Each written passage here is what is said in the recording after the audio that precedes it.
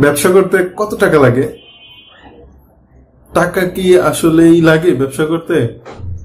আজকে এই বিষয়টা ক্লিয়ার করার চেষ্টা করব যে আসলে একটা ভালো মানের ব্যবসা করার জন্য অর্থের গুরুত্ব কত বেশি?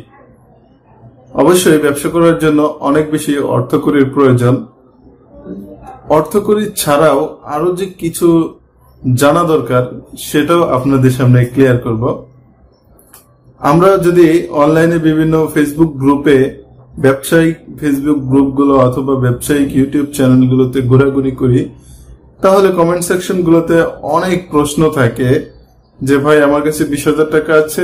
এই বিশ হাজার টাকা দিয়ে আসলে কি ব্যবসা করা যায়? আবার আরেকজন বলবে, আমার কাছে দশ লক্ষ টাকা আছে। এই দশ লক্ষ টাকার ভিতরে কোন ব্যবসাটা করলে আমি লাভবান হব?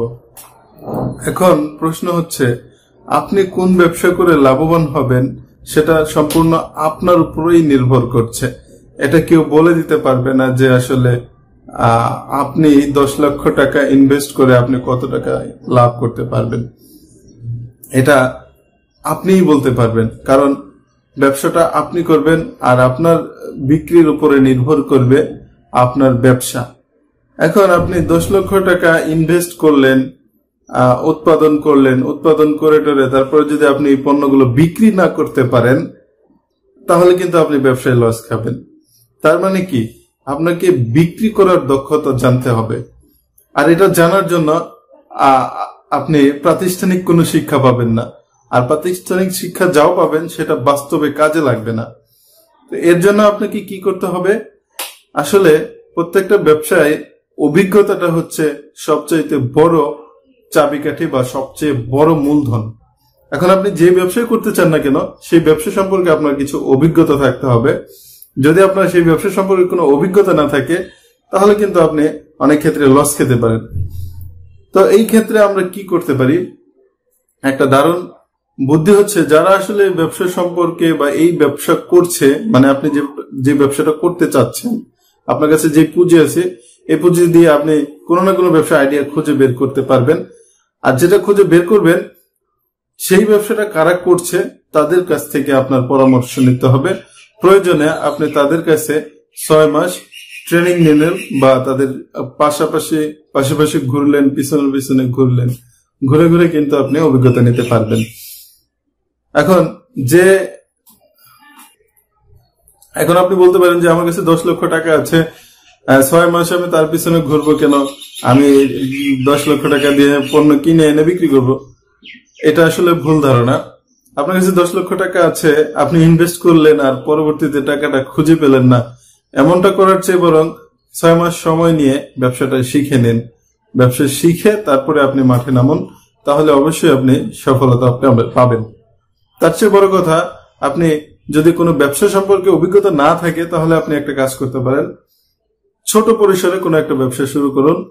এই ছোট ব্যবসাটাই আস্তে আস্তে বড় হবে। ছোট থেকেই যে কোনো ব্যবসাকে অনেক বড় করা যায়। সব ব্যবসায় যে ছোট থাকে আজীবন তা কিন্তু নয়। যারা বড় হয়েছে, তারা আগে ছোটই ছিল। ছোট থেকে আস্তে আস্তে ইমপ্রুভ হয়েছে। তো আপনি, যেহেতু আপনার কোনো ব্যবসায়িক অভিজ্ঞতা নেই, তাহলে আপনি দশ হাজার, বিশ হাজার, পঞ্চাশ হাজার টাকা অল্প টাকা দিয়ে একটা ব্যবসা শুরু করুন। তাহলে যখন এই অল্প টাকা আপনি লস খাবেন, আপনার আপনার ভুলগুলো আপনি ধরতে পারবেন। আর এই সেই ভুল ধরার পরে আপনি সেটা শুধরাতে পারবেন, কারণ আপনি বেশি টাকা লস খাননি। ধরেন আপনি বিশ হাজার টাকা একটা ব্যবসা শুরু করলেন দেখা গেল যে প্রথম মাসে আপনার তেমন একটা প্রফিট হলো না। কিন্তু কেন প্রফিট হয়নি, সেটা কিন্তু আপনি ফাইন্ড আউট করতে পারবেন খুব সহজেই। তারপরে আপনি কি করবেন? এখান থেকে আপনার বিশ হাজার টাকাই কিন্তু লস হবে না। হয়তো বা দুই হাজার, তিন হাজার টাকা লস হবে। অথবা বিশ হাজার টাকাই থাকবে, কিন্তু কোনো লাভ হবে না। তো পরবর্তী মাসে আপনি কি করবেন? আবারও মাল কিনে আনবেন। কিনে এনে অন্য কোনো বুদ্ধি খাটাবেন যে, গত মাসে তো এইভাবে করলাম, তো কাজ হলো না। তো এই মাসে আমি অন্য বুদ্ধিতে করি। তখন দেখবেন পরের মাসে আপনার বুদ্ধিটা হয়তো কাজে লেগে যেতে পারে।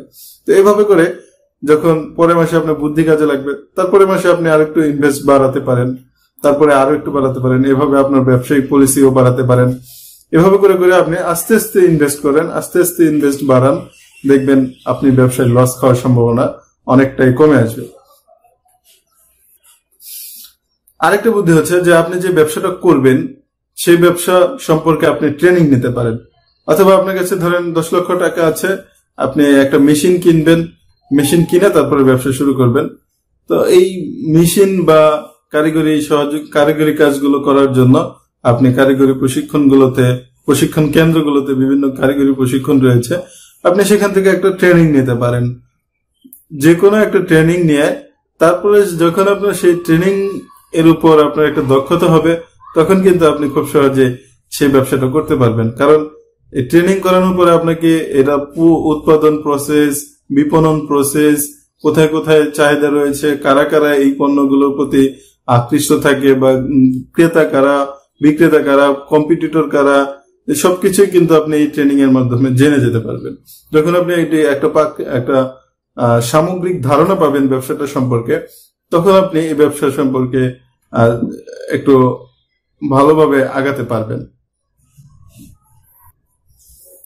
এখন আমি আমার একটা পার্সোনাল এক্সপিরিয়েন্স বলছি। দেখুন, আমি এর আগে প্রায় এক লক্ষ টাকা আমার বাবার কাছ থেকে নিয়েছিলাম, নিয়ে ব্যবসা শুরু করেছিলাম। তখন আমি ইন্টারমিডিয়েটে মেবি স্টাডি করতেছিলাম। তো এই টাকাটা নিয়ে আমি ব্যবসা শুরু করলাম। শুরু করার পরে যা হওয়ার তাই হয়েছে। কারণ ওই ব্যবসা আসলে ব্যবসা সম্পর্কে আমার কোনো অভিজ্ঞতাই ছিল না। আর এটা না থাকার কারণে আমি ভাবছিলাম যে মাল কিনে আনব আর বিক্রি করব। এই তো কাজ। এটা তো আহামরি কঠিন কোনো কাজ নয়। আসলে আমি এইভাবে করতে থাকলাম, করতে করতে একটা সময় দেখলাম যে আমার কাছ, আমার বাবার কাছ থেকে আমি যে টাকাটা নিয়েছি, সেই টাকা আর মিলাতে পারছি না। পরে বাধ্য হয়ে আমি ব্যবসাটা ছেড়ে দিই। ছেড়ে দিয়ে তারপরে আমি কিন্ডার গার্ডেন স্কুলে চাকরি নেই। এখানে আমি তিন, চার, পাঁচ বছর চাকরি করি। চাকরি করার পরে দেখি যে না, এভাবে চলবে না। এটা তো একটা, এক ধরনের রক্তচোষার চাকরি করছি। তারপরে আমি কি করলাম? আবারও উদ্যোক্তা হওয়ার চেষ্টা করলাম। আবারও ছোটখাটো একটা ব্যবসা করার জন্য অনেক আগ্রহী হয়ে উঠলাম। তো আমি মাত্র অল্প কিছু টাকা দিয়ে অ্যামাউন্টটা বলব না, খুবই সামান্য অল্প কিছু টাকা দিয়ে একটা ব্যবসা শুরু করলাম। এখন আমি আল্লাহ রহমতে আপনাদের দোয়ায় নুন, পান্তা, ভাত খাওয়ার মতো একটা ব্যবস্থা হয়েছে। যদিও ব্যবসাটা অনেক ছোট, কিন্তু আমি এটা করে অনেক হ্যাপি এবং আমার দৈনন্দিন জীবনে আমার অবসর সময় পাই নিজে কিছু করার জন্য। এবং আমি টেনশন ফ্রি থাকতে পারি এবং আমার উপরে কোনো প্রেশার থাকে না। আমি যখন ইচ্ছা ব্যবসা করলাম, যখন মনে ভালো লাগল, শরীর ভালো লাগল না, তখন করলাম না। আবার অনেক সময় ব্যবসা ভালো হলে মন অনেক ভালো থাকে হ্যাঁ? তো এইভাবে করে অল্প টাকা দিয়েও কিন্তু ব্যবসা করা যায়। আপনার কাছে লাখ লাখ টাকা থাকলেই যে আপনি ব্যবসায়ী হয়ে যেতে পারবেন, অনেক টাকা ইনকাম করতে পারবেন, এটার কোনো নিশ্চয়তা নেই। হ্যাঁ? অনেকে দেখা যায় চল্লিশ লক্ষ টাকা নিল, পাঁচ লক্ষ, দশ লক্ষ টাকা নিল তার বাবার কাছ থেকে। আসলে সেই টাকাটা ইনভেস্ট করার পরে তার খরচের হাত অনেক বেড়ে গেল। অথবা এই টাকার যথাযথ ব্যবহার না করার কারণে ব্যবসাটাই লস খেয়ে গেল। তো এজন্য যে কোনো ব্যবসা শুরু করার আগে আপনাকে অভিজ্ঞতা হাসিল করতে হবে। আর অভিজ্ঞতা হাসিল করার জন্য আপনি চাইলে ট্রেনিং নিতে পারেন, অথবা চাইলে যারা এই ব্যবসায় সংযুক্ত আছে বা সম্পৃক্ত আছে, তাদের কাছ থেকে অভিজ্ঞতা নিতে পারেন। প্রয়োজনে তাদের সাথে আপনি পাঁচ, ছয় মাস ফ্রি ফ্রি চলাফেরা করতে পারেন বা ফ্রি পরিশ্রম দিতে পারেন, সময় দিতে পারেন। যখন আপনি এইভাবে করে অভিজ্ঞতা অর্জন করবেন, তারপরেই কিন্তু আপনি ব্যবসা শুরু করতে পারবেন। অন্যথায় আপনি ব্যবসায় লস খেতে পারেন। আশা রাখছি আরেকটা কথা বলে রাখছি। দেখুন, যারা বড় বড় ব্যবসায়ী বা যারা সফল হয়েছে, তাদের কাছে আপনি একটা প্রশ্ন করবেন যে, ব্যবসা করার জন্য মূলধন কতটা জরুরি? তারা সবসময় বলবে, ব্যবসা করার জন্য মূলধনটাও জরুরি নয়। সবচেয়ে বড় মূলধন হচ্ছে ইচ্ছা শক্তি পরিশ্রম করার মানসিকতা এবং উদ্যোক্তা হওয়ার প্রবল ইচ্ছা, সেই সাথে অভিজ্ঞতা। অভিজ্ঞতাটাই হচ্ছে ব্যবসার মূল পুঁজি এবং দৃঢ়, মনোবল দৃঢ় প্রত্যয় নিয়ে ব্যবসা শুরু করা। সবাই অনেক ভালো থাকবেন, সুস্থ থাকবেন। অনেক চাপাবাজি শুনছেন। আশা রাখছি এই চাপাবাজিটাই আপনার অনেক কাজে আসবে। সকলে সুস্বাস্থ্য কামনা করে এখনকার মতো বিদায় নিচ্ছি। খোদা হাফিজ।